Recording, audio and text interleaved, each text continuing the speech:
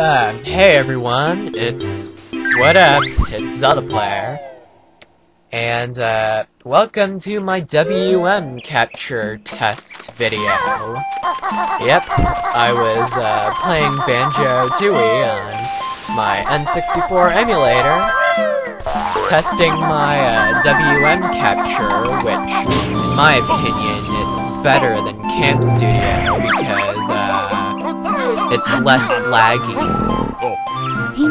And, uh, also, I'm, uh, recording my voice off my Windows Movie Maker while just watching this because, uh, well, I had commentary, but, uh, it seems it doesn't let me, uh, do commentary while playing it, so...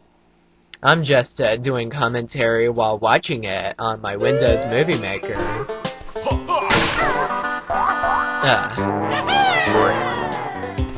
Alright. And also, it did stop recording at 2 minutes. And that's because I have the limited version. There is a full version, but it costs money, and, well, this is a uh, demo which I got for free because I downloaded it. And, uh, and I'm not gonna buy the, I'm not gonna buy the full version. That's a waste of cash, so I'm just gonna have to stick to the, to the limited version, perhaps I could, uh, link the clips together on my Windows Movie Maker. So yeah.